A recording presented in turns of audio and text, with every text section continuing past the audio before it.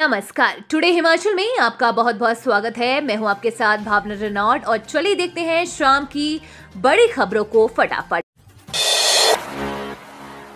Green Chamba और green Chamba रहेगा मिंजर मेले का थीम। अंतर्राष्ट्रीय मिंजर मेला 2023 का theme. Clean Chamba, green Chamba रहेगा मेले के थीम। विषय क्लीन चंबा, ग्रीन चंबा के तहत आयोजित की जाने वाली विभिन्न गतिविधियों पर चर्चा के दौरान उपायुक्त ने उप निदेशक एवं परियोजना अधिकारी, ग्रामीण विकास अभिकरण एवं कार्यकारी अधिकारी, नगर परिषद को कार्य योजना तैयार करने के निर्देश दिए। उन्होंने ये निर्देश भी दिए कि मेले के दौरान किसी भी स्टॉल पर प्रतिबंधित सिंगल यूज़ प्लास्टिक पदार्थों की बिक्री न हो। बैठक में ये निर्णय भी लिया गया कि प्रतिबंधित सिंगल यूज़ प्लास्टिक पदार्थों की बिक्री पर प्रभावी निगरानी के लिए प्रदूषण नियंत्रण बोर्ड के स्थानीय अधिकारी, नगर परिषद और चंबा उप प्रशासन के अधिकारी कार्यवाही सुनिश्चित सुनिश्चित बनाएँगे।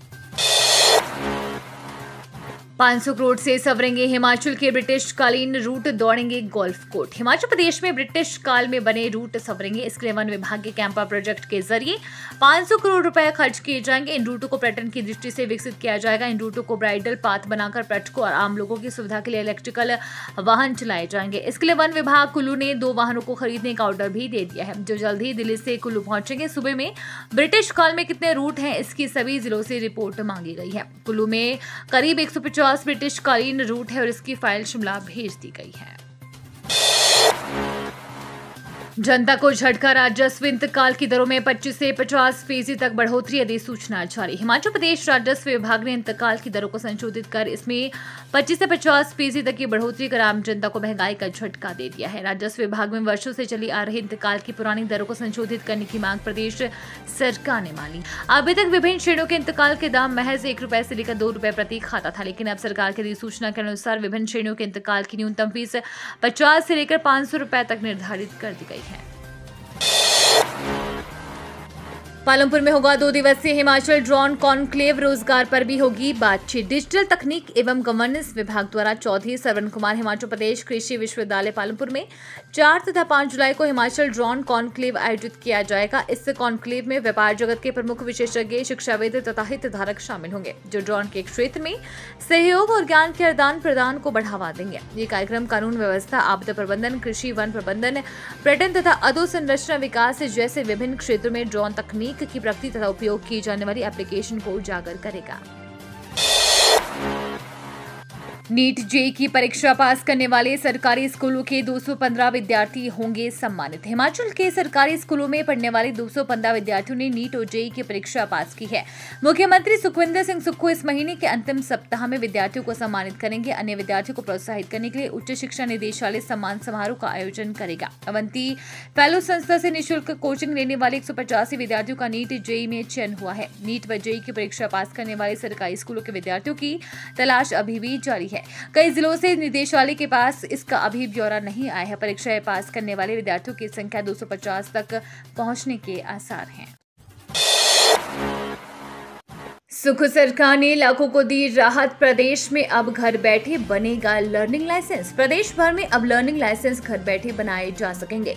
राज्य सरकार ने इसके लिए ऑनलाइन सुविधा प्रदान करने का फैसला किया है। सरकार ने क्षेत्रीय परिवहन कार्यालयों और क्षेत्रीय लाइसेंसिंग प्राधिकारियों के कार्यालयों को सुविधा संपन्न बनाने की पहल की है। इसके अंतर्गत लोगों को अपने घरों से ही आसानी से बिना किसी परेशानी के अपना लर्नर ड्राइविंग लाइसेंस प्राप्त करने की सुविधा प्रदान की जाएगी।